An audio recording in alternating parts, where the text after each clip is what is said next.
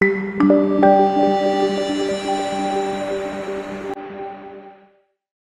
kính chào quý vị khán giả. Bảo Trần rất hân hạnh được đồng hành và gửi tới quý vị những thông tin cập nhật trên kênh YouTube Báo Pháp Luật Thành phố Hồ Chí Minh. Nội dung chi tiết sẽ được gửi tới quý vị và các bạn ngay sau đây.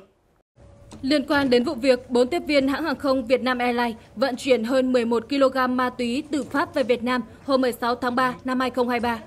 Ngày 21 tháng 3, cơ quan cảnh sát điều tra công an thành phố Hồ Chí Minh tiếp tục làm việc lấy lời khai bốn nữ tiếp viên hàng không gồm Nguyễn Thanh Thủy, Đặng Phương Vân, Trần Thị Thu Ngân và Võ Tú Quỳnh để điều tra làm rõ vụ việc. Hôm nay, thông tin về người môi giới việc bốn tiếp viên vận chuyển hàng hóa dần hé lộ. Theo thông tin từ cơ quan cảnh sát điều tra công an thành phố Hồ Chí Minh, hiện cơ quan chức năng vẫn đang tạm giữ 4 nữ tiếp viên vụ sách 11 kg ma túy về Việt Nam, khám xét nơi ở của những người này và truy xét những người liên quan. Thông tin cho biết, cơ quan công an đã khám xét nhà 4 nữ tiếp viên Vietnam Airlines nói trên. Tuy nhiên, cơ quan chức năng không phát hiện thêm ma túy. Các tiếp viên đã khai nhận mang hàng hóa sách tay từ Pháp về Việt Nam thông qua một đồng nghiệp làm trung hãng. Người này đang ở Việt Nam Công an đã triệu tập người này lên làm việc. Song cơ quan chức năng cũng không cung cấp bất kỳ một thông tin nào về người đồng nghiệp của bốn tiếp viên hàng không. Qua lời khai của bốn tiếp viên, được biết, qua người đồng nghiệp này, một trong số bốn nữ tiếp viên đã trao đổi thỏa thuận tiền công, chia nhau sách lô hàng kem đánh răng nặng 60 kg về sân bay Tân Sơn Nhất. Nhóm tiếp viên cung cấp thêm thông tin về việc có liên hệ với các đầu mối ở Pháp và Việt Nam để giao nhận hàng. Bốn tiếp viên đã cung cấp về các tin nhắn qua lại giữa các bên. Về quá trình kiểm tra, phát hiện hơn 11 kg trong vali của 4 nữ tiếp viên Vietnam Airlines sáng 16 tháng 3. Ông Đinh Ngọc Thắng, cục trưởng Cục Hải quan thành phố Hồ Chí Minh cho biết, mục tiêu chính của vụ án là bắt đối tượng chủ mưu đứng đằng sau. Đây là kế hoạch lớn của các cơ quan điều tra, ngành hải quan cũng như Cục Hải quan thành phố Hồ Chí Minh. Tại thời điểm phát hiện số ma túy trên, Cục trưởng Đinh Ngọc Thắng đã trực tiếp có mặt tại sân bay tới 3 giờ sáng để nắm tình hình. Ông cho biết, Lúc đó, một số cán bộ hải quan run người khi thấy số lượng ma túy quá lớn. Run vì thương những nữ tiếp viên còn quá trẻ. Có người mới sinh năm 1996 khi bị phát hiện vận chuyển trái phép chất cấm. Cơ quan chức năng đang phối hợp với nhiều lực lượng cả ở Việt Nam cũng như tại Pháp để xác định đối tượng chủ mưu đứng đằng sau vụ việc. Chia sẻ trên Vietnamnet, nguồn tin từ cơ quan cảnh sát điều tra công an thành phố Hồ Chí Minh cho biết, bước đầu xác định nữ tiếp viên Trần Thị Thu Ngân có vai trò quan trọng trong vụ việc. Ngoài ra, Phòng Cảnh sát điều tra tội phạm về ma túy PC04 Công an thành phố Hồ Chí Minh đang xác định người nhận số hàng trên tại Việt Nam để truy bắt. Như vậy, những người liên quan đến vụ việc như người đồng nghiệp đã môi giới cho 4 tiếp viên mang 4 vali có chứa hơn 11 kg ma túy cùng đầu mối tiếp nhận số ma túy trên tại Việt Nam đóng vai trò không nhỏ trong toàn bộ vụ việc. Trước khi vụ việc này xảy ra, Cục Hải quan Thành phố Hồ Chí Minh cho biết đã chỉ đạo Hải quan Tân Sơn Nhất tập trung kiểm soát những người có tần suất di chuyển thường xuyên, đặc biệt là các tuyến hàng không trọng điểm từ châu Âu, Mỹ, Nhật Bản, Hàn Quốc để sàng lọc, kiểm tra có trọng tâm. Cục Hải quan Thành phố Hồ Chí Minh cũng cho biết thêm các đối tượng có sự thay đổi từ những đối tượng ngoài xã hội có mối quan hệ phức tạp. Thành phần là khách nước ngoài, người Việt Nam, khách du lịch. Đến nay, xuất hiện nhóm đối tượng mới là tiếp viên hàng không, đây là nhóm đối tượng có công việc ổn định, có nhận thức pháp luật nhưng vẫn tham gia vận chuyển trái phép chất ma túy. Do vậy, việc quản lý, sàng lọc, phân loại đối tượng để đấu tranh gặp nhiều khó khăn. Vụ việc phát hiện 4 nữ tiếp viên Vietnam Airlines mang hơn 11 kg nhập cảnh về nước là nằm trong kế hoạch và tầm kiểm soát của lực lượng hải quan chứ không phải ngẫu nhiên.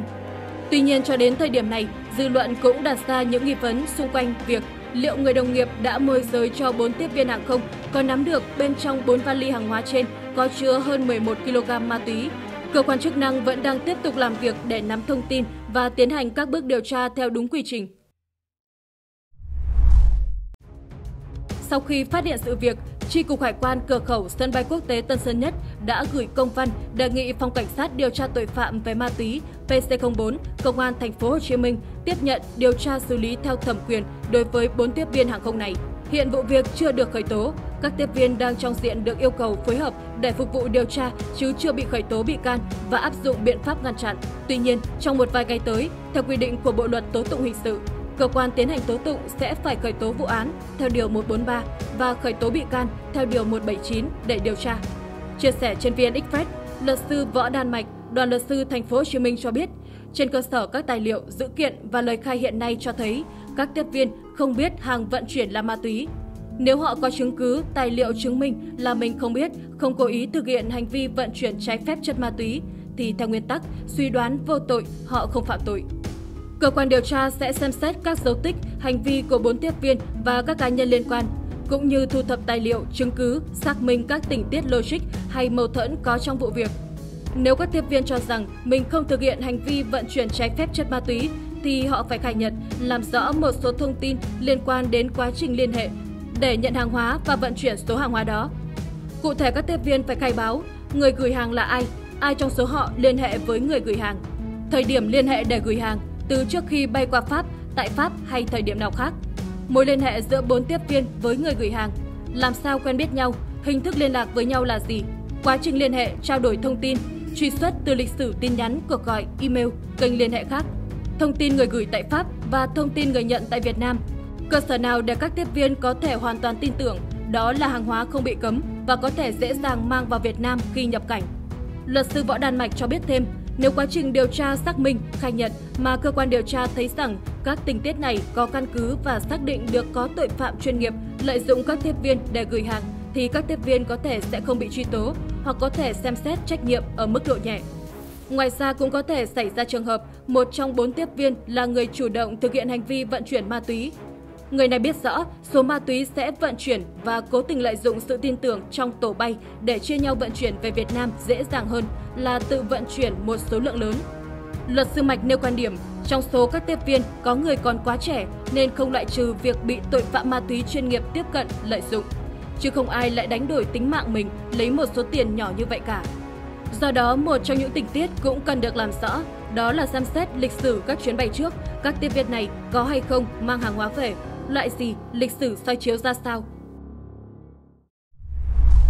Liên quan đến vấn đề trên, dưới góc độ pháp lý, luật sư Nguyễn Anh Thơm, đoàn luật sư thành phố Hà Nội từng chia sẻ với báo chí. Vụ việc bốn nữ tiếp viên hàng không bị cáo buộc mang hơn 11 kg chất cấm giấu trong các tuyếp kem đánh răng có trong hành lý từ Pháp về thành phố Hồ Chí Minh là đặc biệt nghiêm trọng nên cơ quan điều tra sẽ xem xét xử lý thận trọng, khách quan theo quy định của pháp luật.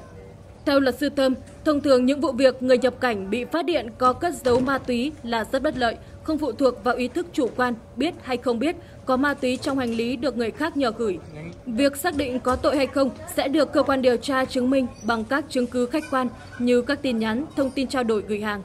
Cũng theo luật sư Nguyễn Anh Thơm, việc soi chiếu hành lý của các nữ tiếp viên thấy số lượng lớn tuyếp kem đánh răng, nước xúc miệng được vận chuyển từ nước ngoài về Việt Nam là bất thường, nên bằng kinh nghiệm nghiệp vụ, sự nhạy cảm nghề nghiệp đã được các cán bộ hải quan phát hiện.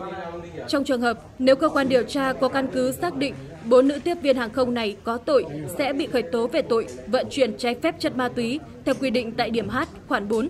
điều 250 Bộ luật hình sự. Luật sư Thơm cũng cho biết Cơ quan điều tra sẽ trưng cầu giám định trọng lượng, loại, hàm lượng ma túy để làm căn cứ xử lý theo luật.